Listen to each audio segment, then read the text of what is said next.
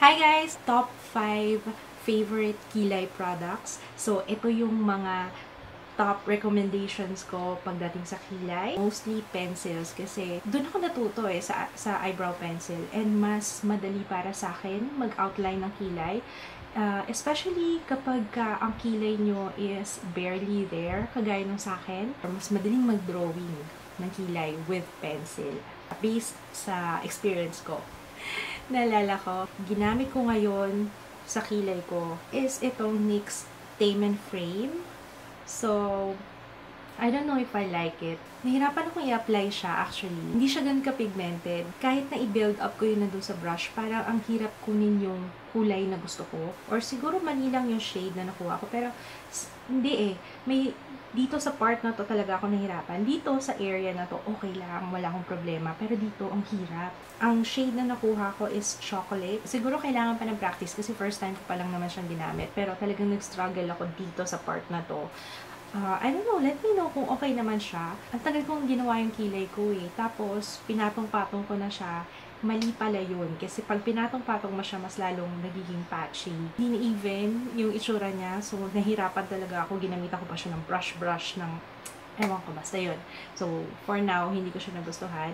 Pero anyway, hindi yan kasama sa top 5 ko. Nabanggit ko lang ngayon kasi bigla ko lang naisipan na gumawa ng top 5 kilay products. Tapos, naalala ko, hindi pala kasali yung ginamit ko. I hope you forgive me. Okay lang sana sa inyo. Uh, okay, so, let's do this. Number 5 na favorite kilay product ko is itong Revlon Brow Fantasy. First of all, ang hinahanap ko sa mga eyebrow pencils is yung walang reddish tint walang orangey, walang red, walang orange na kulay sa kanya. Gusto ko brown, as in brown lang talaga. Almost close to gray. Kasi yun yung kulay na uh, mukhang natural. Ito yung Revlon Brow Fantasy. So, Exhibit A, almost close to gray color. Hindi siya reddish, walang orange sa kanya. So, talagang purely brown, faded brown yung kulay niya. But, pag nilagay siya sa kilay, okay na okay kasi nagbe-blend well yung kulay ng kilay ko, yung original or yung natural color ng aking kilay dito sa eyebrow pencil na to. Plus, meron din siyang kasamang um, gel, brow gel, para umayos yung buhok, ba diba? Para matame siya. So, yun yung actually, yun yung purpose niya. And, para mag-blend yung kulay ng lashes. Lashes! mag-blend yung kulay ng kilay with the pencil. Alright. So, yun. The reason why I like this, kasi nga dahil dun sa shade niya, it's perfect. Actually, lahat nung sasabihin kong pencil ngayon is uh, okay yung kulay. So, recommended, recommended. Recommended ko talaga. recommended ko talaga. This has been my go-to eyebrow pencil kasi tumatagal siya sa aking kilay. Pawisin ako and oily. At the end of the day, wala yung natatapyas yung kilay ko. Wala namang ganong nangyayari. Kahit na mahawakan ko siya, hindi siya yung kumakalat. Alam niyo yun, minsan pag nagpawis, nagpunas kayo ng pawis, biglang humaba na yung kilay. Meron ako natatry na eyebrow pencil na ganon. So, so far, itong mga recommendations ko, uh, wala namang ganong nagaganap. Another thing that I like about this is madali siyang i-apply So, ewan ko kung dahil nasanay ako sa kanya, pero super dali, super dali rin i-brush after kong i-drawing yung kilay ko. Hindi siya nabumuumuo, kaya okay. Oops. Baka magising yung mga to. Mamaya ka na nga. Okay, next one is yung Sansan Twist Eyebrow Pen. Maganda rin to, guys. Nilakas ako electric fan kasi sobrang init. Hindi ko kaya. Pero naririnig niyo naman ako, no? Okay. So, next one is itong Sansan Twist Eyebrow Pen. And ang shade is... What is your shade? Hmm, walang nakalagay. Brown yata. Nabura ko na yata eh. Anyway, swatch ko na lang sa inyo para makita nyo. Itong eyebrow pencil na to, it's retractable kaya hindi na siya kailangan tasahan. Um, it's really good kasi sa lahat ng murang uh, pangkilay na meron ako, ito yung pinaka tumatagal. I believe it's only 110 pesos, so murang-mura lang. Hindi siya kaagad-agad natatagal. Ayan o, if you're on a budget, tapos naghahanap kayo ng mumurahing uh, pangkilay na tatagal sa ilalim ng init ng araw dito sa Pilipinas, Sand. Kulay niya, okay naman. Walang hindi reddish, walang orange, walang yung mga ayaw ko. Okay na okay naman siya. Okay to kung ang hair mo black kasi uh, mas close siya sa natural color ng hair. Next one is itong Nature Republic Auto Eyebrow in Brown 03. Maganda yung tip niya. It's flat. Ayan. Mas madaling mag-drawing ng kilay, especially if beginner ka. Diagonal yung tip. Plus, it's retractable, so hindi mo na kailangan pangpasahan. And meron na siyang kasamang brush. So, alam nyo, every time na ginagamit ko to, lagi akong tinatanong, pag nagpo-post, nagpo-post ako ng photo sa Facebook or sa Instagram, pag ito yung gamit ko, laging tinatanong sa akin kung ano yung ginamit ko sa kilay ko. Kasi mukhang uh, pang Korean eyebrow. I, I don't know if ako lang. Pero may nagsabi sa akin. May nag-comment dun eh. Feeling ko din eh. Ang ganda kasi ng pagkakayari. Yari talaga. Pagkakayari ng kilay kapag ito yung ginawa. Eh, ito yung ginamit ko.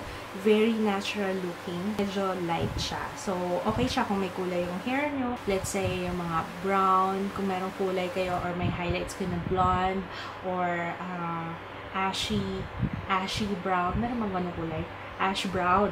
Ash brown color. Number two is itong Maybelline Fashion Brow 3D Brow and Nose Palette. This one is dark brown. Pag nakita nyo sa photos na plakadong-plakado yung kilay ko, ito yung gamit ko. Okay? Remember that. Tapusin na natin to na ang bigat ng lashes ko. Alang-alang sa pagmamaganda. So, in comparison with the NYX statement frame na gamit ko ngayon, mas madali siyang uh, i-outline sa kilay. And kahit pagpatong-patungin ko siya, it doesn't affect uh, it doesn't affect yung itsura niya.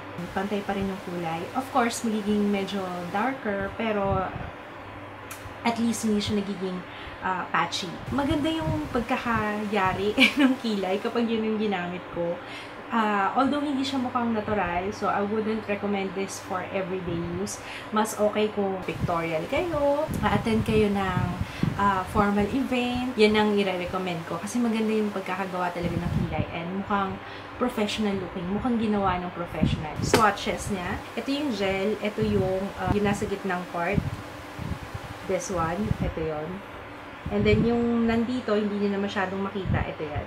Ayun yung ginagamit ko pang nose contour. Yes, tumatagal naman siya sa akin the whole day, kaya nga naging number 2. Oo nga! Ba't ba hindi ka naniniwala sa akin? Hindi siya nalulusaw. Alam niyo itsurang pag nag-oil up na, yung medyo parang kumakalat na siya, hindi. Plus, madali lang siyang hanapin. Sa any Maybelline counter, it's available and for 299 pesos, mura lang. Huwag niyong kakalimutan na laging takpan kasi nag-dry up yung gel part niya or wax part niya.